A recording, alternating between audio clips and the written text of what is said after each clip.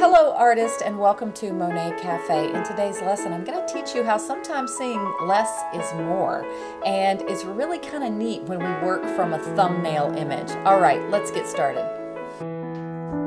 Hello artist and welcome in the studio. Today I'm doing a little exercise that I think will help you to improve your ability to see things more simplified. Often we get too hung up on the details and I find that working from thumbnails, you know, those little teeny pictures you see um, when you don't blow it up or something, they're the little teeny ones. And I find that these thumbnails are an excellent way for us to see more simplified shapes and to see the bigger forms to create a more pleasing composition. So join me in this lesson. I think it's going to be fun. I think it'll be educational and I think it'll just be another step for all of us to get better as artists. Now this is an example of a painting that I did from a smaller thumbnail and I also think it helps it lend towards impressionism, you know, and and to not get so fussy about every little detail. So that's the goal with this. And what we're going to do is I pulled a bunch of different photos that I thought had nice compositions. Uh, that's the one, but here's what I mean. Let me see if I can get where you don't see the light. By working from a thumbnail, um, these little images here are little teeny thumbnails. And what happens is when we see them this small, um, we are just able to see the basics, the, the bones of the composition, so to speak. And I feel that it is often a great way to do a preliminary painting. I'm not saying you should finish the painting from the thumbnail. I mean, you could, you could try, but um, there's nothing wrong with that. But if you do the preliminary parts to the painting and then later look at the larger picture, we already have the basics, the most important things. Like I said, it's like the good bones of the painting when we get the composition right and we get the values right. That's another thing too. We can see values more clearly when they're small. You can so, it, it's kind of like squinting your eyes. You can so much more quickly see uh, in this one that we'll be doing today, what's the darkest value? This mass, what's the shape? It's kind of like a, a triangle on its side. You can see um, where the mountains are in the background, you can see that they're lighter value than the trees. You can see that the sides of the roads are a little bit darker. And so the same thing in all these other photos too. It's just such a an easier way, a much easier way to see the big shapes and the values. So I'm going to talk a little bit as we go. But I also want to share my palette that I'm going to get starting with. Um, started with. You can, uh, if you would like to choose your palette, you can choose it from the thumbnail. Uh, but, you know, it's okay in this exercise if you want to enlarge a little bit to get a better, better idea of what your colors are that you would like to choose. All right, so let's take a look here. I have just pulled out some. I usually like to, I'm sorry for my little, this is my little working palette, I call it. I love it because it's just a little box that I had gotten some Sennelier pastels. I think that's what these are. And it already had these nice little dividers and I, I'm always like using it because it's just a neat way to kind of section things off. But I have my pastels, my studio pastels, right next to me. So I can always grab more if I need to. I don't think I have the supply of pastels that a lot of professional artists have, but they work for me. And um, of course, we're always wanting to get more, right? of course, I did get some more sets over this past Christmas time, which was really great. And I am using a couple out of this these sets here. This is the Umber Shadows and Shades um, Terry Ludwig set. It's 30, and these are the nice little um, um, color charts they give you. I really recommend filling these in. They help you to know what to order if you run out. I'm using one of these, uh, a little bit darker value pastel here, and I'm using a couple of the Shades of Nature pastels by Terry Ludwig. I really love these sets. They're nice neutrals. All right, so let's get started here. I'm gonna show you a little bit about what I've got. I went ahead and pulled some sky colors. These are my sky colors. I know that in the upper, I've got them arranged by dark to light, bottom to top, okay? It's actually opposite in the sky. We would have the darker values in the heavens at the topper part of the composition. Then it gradually gets lighter and a little warmer, typically as we go down into the um, horizon line of the landscape. Um, as as you can see right here. Darker blues up top. This one is a cloudy day. That's why I have those light blues.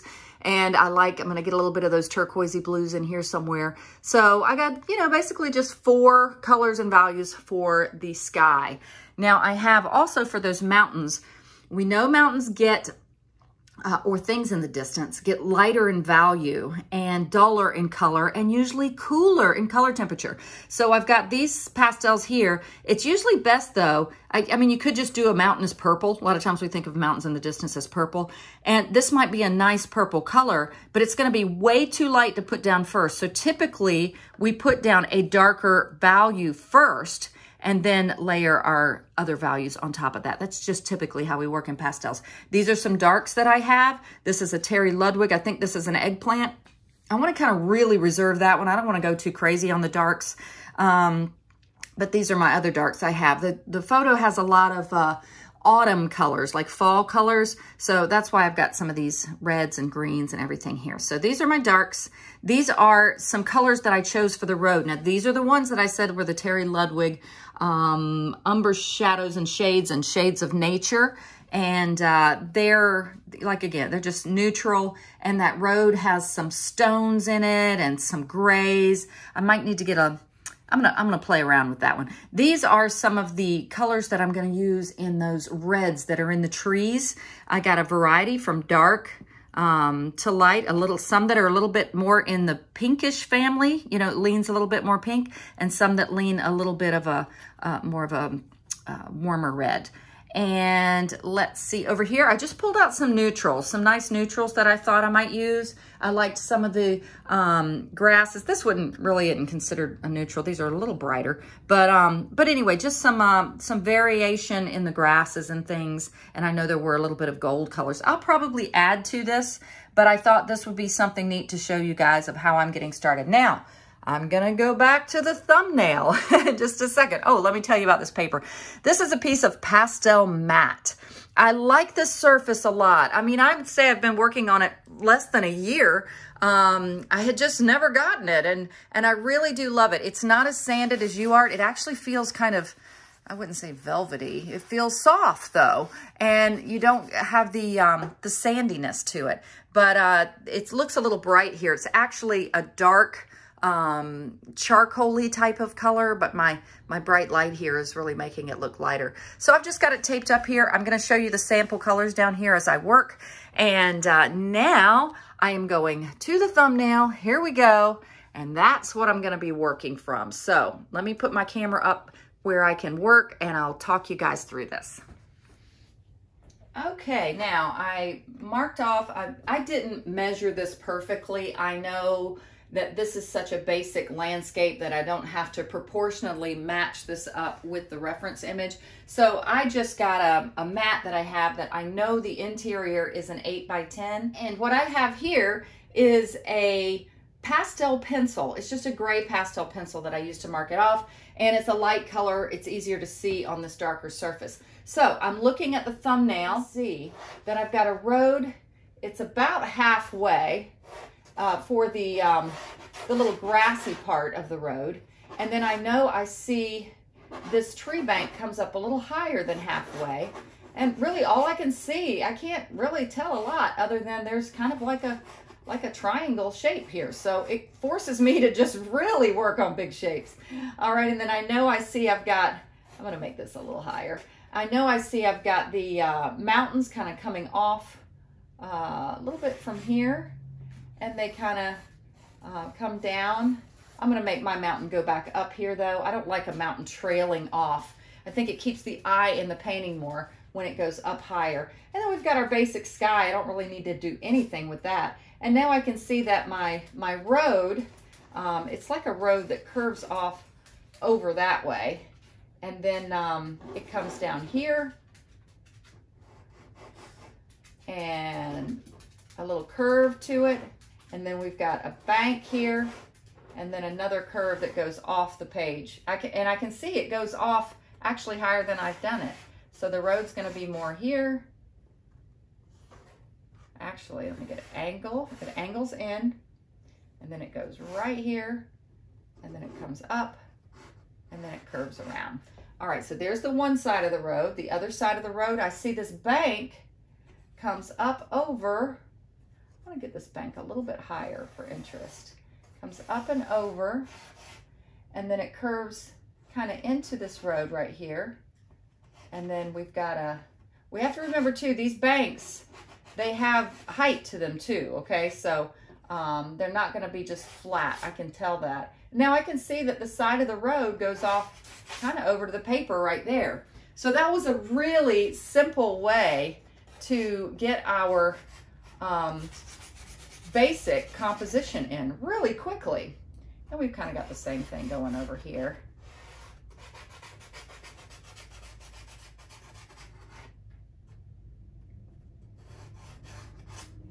All right, so there we go. Look at that. That was so fast and easy to get a composition in with a thumbnail. And it, it just simplifies and makes everything so much easier. So now we're gonna start painting. I'm gonna get that darkest blue.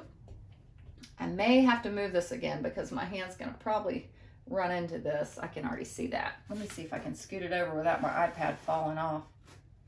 That, sh that should stay. I hope it stays. Oh, we don't lose the iPad here. Oh, isn't that a beautiful blue? Oh my goodness. Now I'm keeping a light touch. I'm not, I'm not getting carried away right now. I kind of think I want to make the sky sweep this way more than just so flat with those clouds because we've got the road curving this way. That would make a nice S-shaped curve um, to the composition. So, and don't worry if you don't think about these things right away because it, uh, all these things come with practice. Okay, so there's that blue. Now I have this little bit of a warmer blue. Oh, I was gonna mark these two for you. Okay, here's the first blue in the sky. I believe this is a Sennelier that's just gotten kind of squared off from use. They're normally round. Um, this is a Mount Vision. I like Mount Vision. They're a nice value. Um, they're a big pastel. Uh, let me see what I have here that's a Mount Vision. I have my iridescent ones that are not broken. Here they are this is kind of what the size of a Mount Vision looks like. These are, it's an iridescent set. I was, I'm very blessed that Mount Vision factory is here in my area, Tampa, Florida area. So I went to the factory and I bought all of their iridescents. They're a lot of fun, but I have plenty more Mount Vision. I have a lot of Mount Vision that I use for sky colors. Um, they've got some really nice blues. So here's this pretty, pretty turquoisey, uh, you know, it leans a little bit more towards a uh, warmer blue or a cooler green.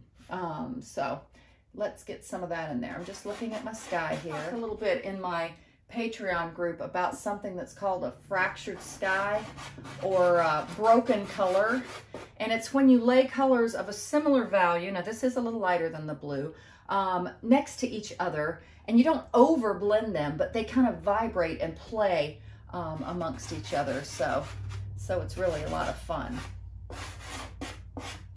Right, so now I'm gonna go in and get my next color blue. This is that lighter blue. Um, let's get this one right here. It's pretty light. My, my lightest um, whitish blue is this one. And that's really just gonna be for some of the highlights of the clouds. But, um, but let me get this one in first. Now this is where I said I wanted to get these clouds kind of, kind of trailing out of the painting to give some interest to the sky.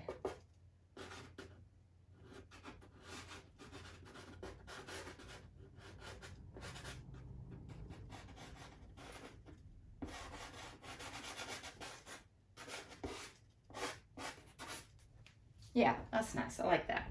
Um, and we don't want to get over carried away with this because we're really just trying to get um, the, uh, the basics of the color in but I am going to go ahead and just hit on a few of these lights um, to get the overall impression. I like getting the canvas or the um, paper filled with color before I get too fussy with anything. All right, now let's get these mountain colors in. That's just a basic start. I've got my mountain. I know it's going, I'm looking at the thumbnail still, and uh, it's going to be a duller, um, blue, man, this PastelMat is just like butter when you work on it. I really, really like it. Um, so just getting my basic mountain shape in, still keeping a light touch there. And now I know that I can put in, um, I don't even have to do this now. That might be a little bit light for purple. I'm going to hold off on this. That gives me a little, a little taste of it. But I'm not gonna get over carried away with that right now. I wanna get my basic values and colors in. Now, I'm gonna work on my dark. Now I work, I'm working kind of down in this one. Somewhat, sometimes I just get my darks in first, but um, often I, uh, I just work with covering everything. So I see that one of the darkest places is right at kind of the back of this road and some trees back here. There's like a little um, bank of trees and it looks like it might go um, a little higher up than I had drawn my, my composition originally.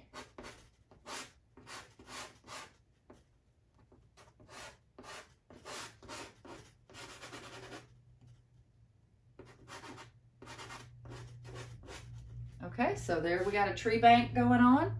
And um, I know some of these sides here, I drew them um, more architecturally, I guess you could say, than, um, than I'll, they'll end up looking. But hold this here.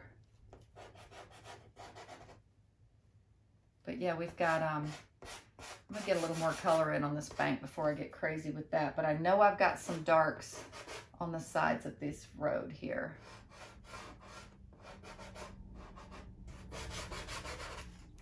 All right, so we can tell it's starting to take shape a little bit.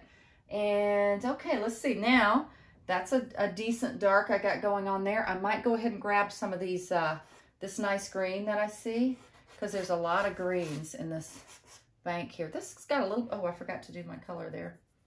Mm, let's do the blue, the darkest blue for the mountain. Then I just barely added a little bit of that purple. See, it's quite a bit lighter, so that's why I didn't want to add it just yet. Okay, then now I've got my darkest dark here. And now I've got this green here. Again, these kind of nice warm colors going on. All right, so I'm gonna go ahead. I know that it's a little lighter back here, but I'm going to um, cover it up with a little bit of lighter color later. I, we know we can we can layer with uh, pastels. And again, this is, I guess it was laying next to a yellow pastel. Let's see if I could get some of that off of there. Yeah, it's still picking up some yellow. I'm not sure why. This is a great American pastel, and man, is it buttery. Woo! It is just, it's one that's so soft that it's going to fill up the tooth uh, quickly. So I'm, I'm going to try to take keep a even lighter touch. Um, this bank kind of comes into the trees a little bit there. And, again, because I'm working from the thumbnail, I can kind of see, uh, oh yeah, I want to go outside my barrier a little bit because it wasn't quite an 8 by 10 So that'll remind me. Um, but anyway, super softy here, so keep, keep that in mind. All right, so that is that green there. And I also had on one of my other darks was this um, a little bit uh, mauve like a darker mauve. And we definitely had some of that going on. Actually, I think I need to add a little bit more dark up in this bank. Um, covered it up with some of that green.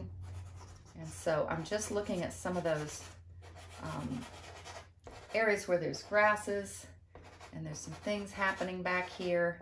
And then they're just gradually kind of trailing off and getting smaller back in here. And same thing here. I want to make sure I get enough of these darks in here. Uh, I think I am going to add a little bit of this across the road, even the road, even though the road is not that dark.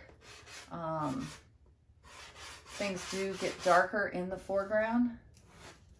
So I'm just to give a little bit of that right here at the entryway to the road. All right, I've got a little bit more darks back in here too that I'm just gonna keep a light touch. Just get me in. Of course, everything's gonna get a little bit smaller as we get in the distance.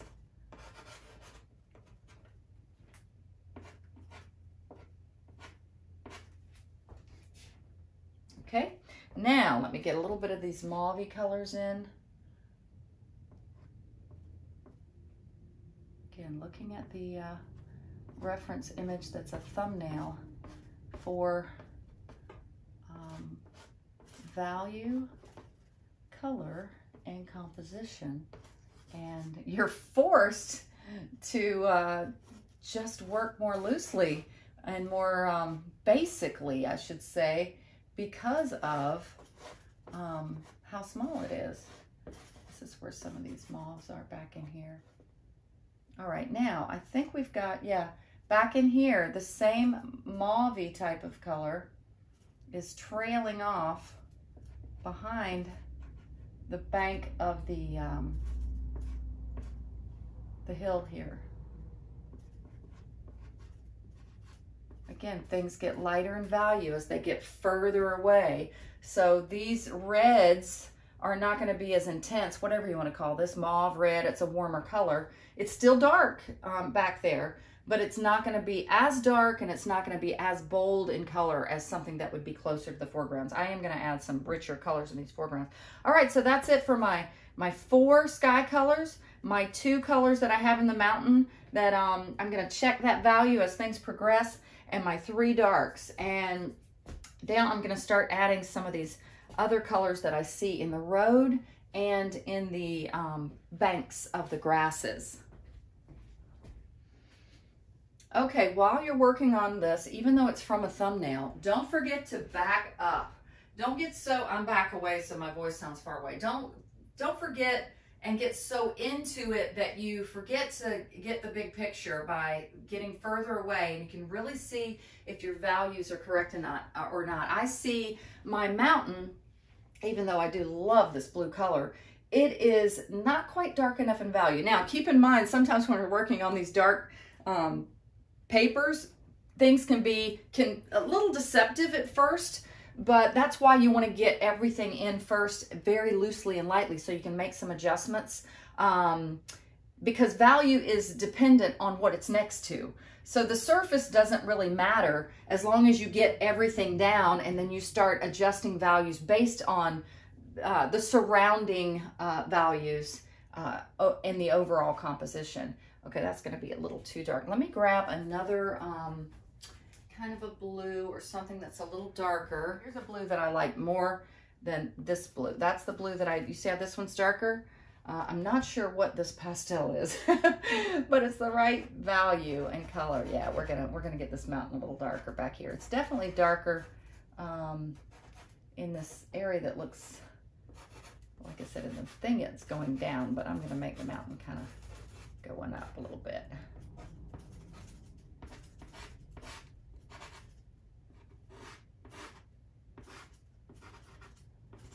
There we go. Yeah, we needed some some depth to that mountain. And then I'll cool it off with the purple that I think, um, did I put that down here? Yeah, this is that blue that I used. You see it's a nice dull dead blue.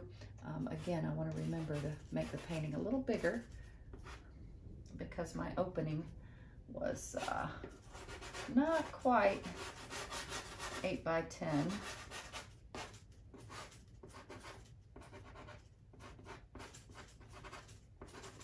All right, now I'm just gonna play a little bit. I got the basics in and I can start working a little bit better. I'm still working from the thumbnail.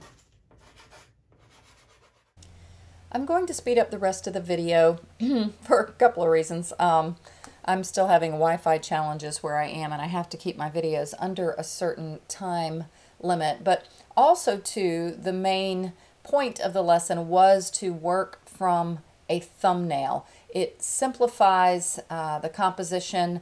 I did make some adjustments to my composition. I realized I didn't have the road curving just right. And I also, I worked 95% of the painting from the thumbnail. And it is a, it's a little teeny, teeny picture, but uh, just give it a try. This is actually a homework assignment for my patrons on my Patreon page. Every Friday, I give homework over the weekend. And this is not like the homework from school where you're like, oh, really? Homework over the weekend? This is fun homework. And I really enjoy seeing when my patrons do the assignments. And we actually have a special uh, album where they submit their homework and we can all look at everybody's work together. And also, it's. Uh, it is neat because the more you participate, the better your chances are, my patrons anyway, um, to win a prize each month. I have a drawing, or I'm going to be having a drawing at the beginning of the month. And uh, those patrons who have participated the most uh, have a higher chance to win the gift card to an art supply store. So it's a lot of fun and an encouragement. You know, I like to try to um, motivate you guys and uh, you guys in Monet Cafe. You also will be seeing this video. And even though I'm speeding this part up, I think you can get the idea. But the goal again is to work from a thumbnail, a little small image uh, so that you can simplify your subject matter. And uh, I got a little road challenged in this one, but I end up uh, making it really loose and free by the end. So this is the final, and I hope you guys enjoyed that. Give it a try, and patrons, of course, share your homework in our homework album. All right, guys, happy painting.